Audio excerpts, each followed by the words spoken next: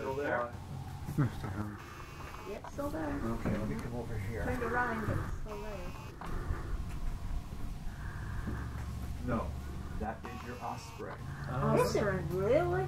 Yes, it's big, isn't it? That's big. If you were to see its chest, you would see it's white on the chest. Yes, that's an osprey. That might not be illegal what we see. Yeah, and see the eyes, the color under the eyes too.